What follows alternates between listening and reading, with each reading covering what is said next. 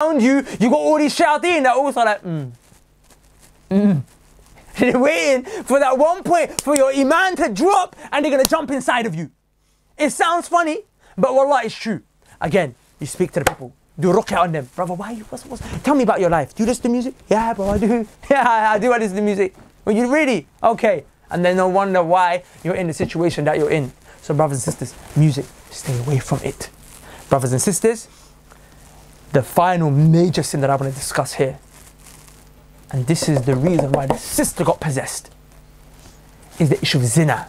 Not that she did commit the zina, but when it comes to zina, Allah said, don't go near it. Near it. Not, not the actual. But there's Allah's trying to tell us here that there's footsteps towards zina. There's things that lead you to the zina that are also haram for you. The zina in itself is not just what's haram. Allah's not telling you stay away from zina.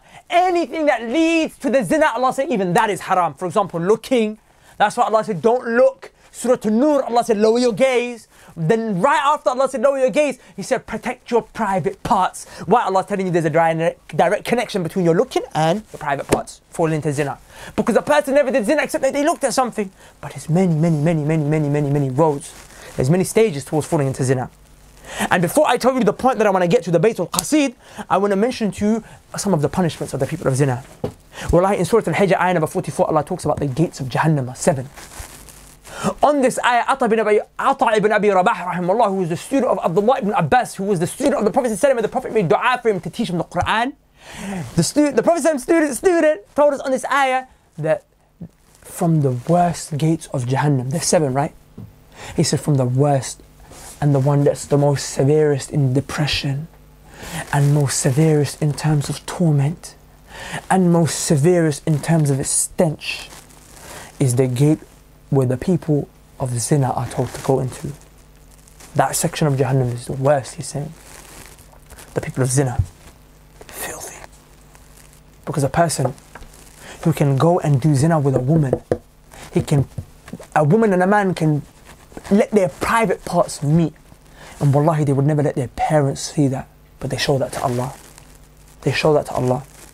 They can show Allah that, then they can do theft. Stealing is easy for them. Murder is easy for them. Would you rather your mum see you murder? Would you rather your mum see you steal or do zina? They're all wrong. And murder is worse than zina. It is. But I'm talking to you about the human psychology right now. Would you rather your mum see you fornicate or do theft or do backbiting? You would rather your mum see you steal, would you not? Would you not? Subhanallah. So if you can do zina in front of Allah, which is the worst thing to show up someone, then you can show Allah stealing, you can show Allah theft, you can show Him backbiting and every other major sin. So zina is a big thing, brothers and sisters. Be conscious of it, why it's dangerous. But how does possession and everything and the sister come into this? Because brothers and sisters, I told you there are steps towards zina. A man, you know, pornography is there. It's all under the same category. Masturbation is all under the same heading. It falls under these steps. But what is the basic step that if you fall into this one thing, you've fallen into the steps towards zina? It is to lose your modesty. It is to lose your haya, to lose your shyness. Allah told us in Surah Al-A'raf that shaitan, when he came and he whispered to our father Adam and his wife, our mother Hawa salamun alayha, what was his objective? Surah Al-A'raf. Read it. Allah tells what his objective was. His objective, brothers and sisters, he said it was so I can cause what was covered of their private parts to become uncovered. He knew if they disobey Allah, they're going to be taken out of paradise. In paradise, are you wearing the clothes of Jannah? Yes, you are. Can you wear the clothes of Jannah outside of Jannah? No. So they would have to take their clothes off, they would become naked. They would become naked. Shaitan didn't say, I want them to be humiliated necessarily, even though he did, that was what he wanted. He didn't say, I want them to be sent to the hellfire. He said, My immediate objective is I want them to I want them to show their body. I want them to lose their modesty. I want them to lose their shyness, show their private parts. Now, as soon as Allah removed their clothes, Adam, he went and he tried to cover himself, alayhi salam, because he had shyness. But the point that I'm making to you, brothers and sisters, is look, look, and Allah tells us later, don't let shaitan fool you, deceive you rather, deceive you like he did to your parents when he caused what was he caused their clothes to be taken from them. Wallahi, look at everyone today. Brothers and sisters, look at them. Wallahi, look at the, the way the bodies are showing. Wallahi, you got sisters. like it hurts, man. Sisters walking on hijab. And their clothes are so tight that wallahi, they might as well be naked. Wallahi, you know, everything is showing. And the men that are watching you, do you know what they're doing to you in their heads? Wallahi, they're already having sex with you in their head. Wallahi, if you could go inside a man's mind, men that you don't even realize as you're walking casually at the train station bus stop, they see you. If you could go inside the mind of a man for a second, you would be horrified. And they've already they've already violated you in their brain. Every day a man's violating you in his mind. You're dressing like that. Let alone the ones who are not wearing hijab. My sisters, cover yourself.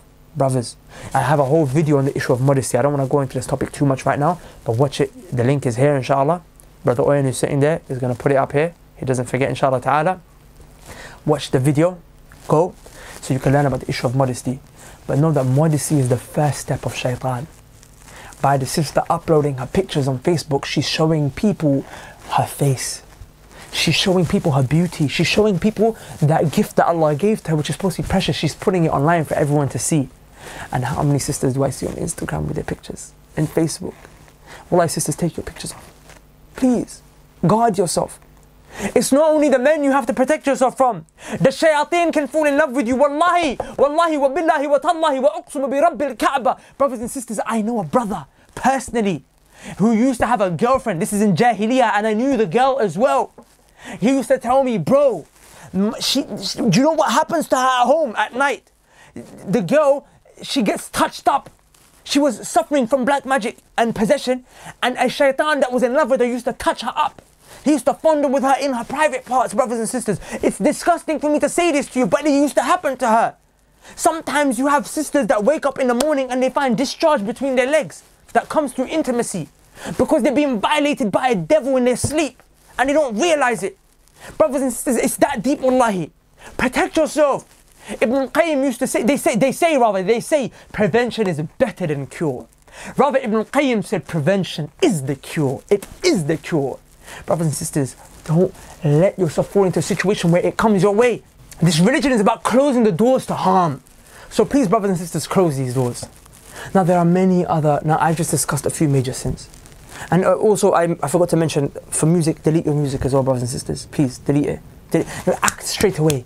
You, if you've got some weed in your house, fam, like burn it, like throw it away. Don't, don't, don't burn it. Actually, don't burn the weed stuff. Don't like throw it in the bin. Do something to get rid of it. Alcohol, pour it out when I don't go again.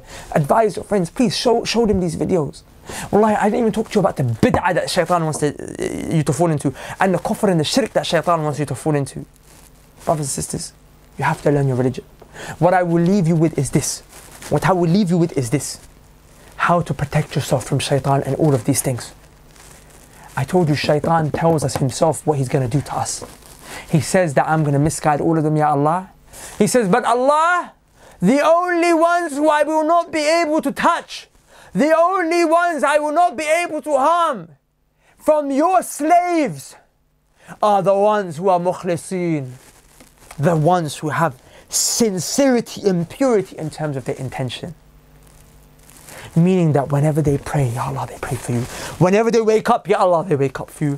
Whenever they cry, they cry for you. Ya Allah, whenever they talk, they talk for you. Whenever they give da'wah, they do it for you. When they give charity, they do it for you. Ya Allah, when they wake up in the morning, when they sleep, they do it for you. Ya Allah, even when they go to the toilet, they come out, they thank you. When they eat, they eat for you. Ya Allah, everything they do in their life, Ya Allah, it revolves around you. And where does intentions lie? In the heart. I told you shaitan wants to get to your heart, right? Wallahi, if you come with ikhlas, sincerity in your heart, sincerity for Allah, that you live for His sake, you die for His sake, you worship for His sake, you live, you breathe everything for Allah's sake. Shaitan can't touch you. Shaitan told you himself. He said, Ya Allah, but those guys, I'm not going to come near them. I can't, Ya Allah, it's impossible for me. He told us himself. Brothers and sisters, how do you learn intention? You learn Tawheed. Tawheed is the oneness of Allah. The way you learn sincerity, the way you purify your intention is through learning Tawheed. That Allah is the only one worthy to be worshipped in truth. But the reality is, brothers and sisters, that me and you don't even know why Allah is worthy to be worshipped in truth, how He's worthy to be worshipped in truth. For example, if I ask you, what's the difference between you and shaitan? You and Iblis. Do you believe in Allah? Yes, you do, right? Do you believe Allah is one? Yes, you do. Does Shaitan believe in Allah? Yes, Shaitan believes Allah is one. He does, he does, he does indeed. Shaitan said, Ya Allah, you, Rabbi bima aghwayta, you're my Lord. He said, Inni akhaf Allah. He, he says, I fear you, Allah. Brother Allah says, he, yeah, he says, I fear Allah. Allah tells Shaitan makes dua to Allah. قال أنذرني إلى يوم يبعثون. Ya Allah, let me live to the day of judgment. And the Prophet said, الدعاء هو العبادة. Dua is worship. Shaitan worships Allah. He said, خلقت, Ya Allah, you created me from what fire? He says, Ya Allah, you're my creator. Shaitan believes in Allah. What's the difference between us and shaitan? If we don't even know that, how can we ever have tawheed? How can our heart ever be sincere for Allah's sake? How can we ever have a heart protected if we don't know the difference between us and shaitan? We don't know the difference between us and our enemy. As far as your, he believes in Allah like you, he fears Allah like you, he believes in the day of judgment like you.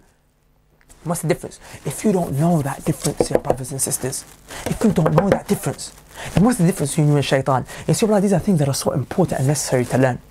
And that's why I'm going to invite you, please, at the end of this video, to go to MuslimSurvivalGuide.com. That is a website and a program that we my our team has put together solely for the purpose of educating you guys how to survive in terms of your religion. The very basic things that you and I need to know. How to be a Muslim at the very minimum, what Islam is.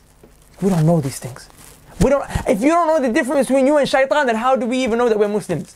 He's definitely a kafir. Aba wastakbara wa kana min al kafirin. Allah said. So so far everything that you believe, he believes as well. What's the difference?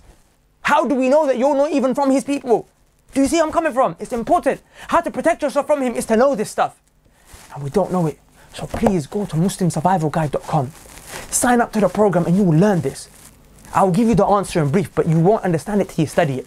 The reason, the difference between us and shaitan is that shaitan refused worship for Allah. And we don't, we affirm it for him alone. But for you to really know what that means, you need to go to the program. Go watch the video, see and whatever happens, inshallah ta'ala. Anyways, I leave you there. Assalamu alaikum wa rahmatullahi wa barakatuh. May Allah bless you. Share the video, like the video, and please subscribe. Please make sure brothers and sisters get to hear this video, man. Assalamu alaikum wa.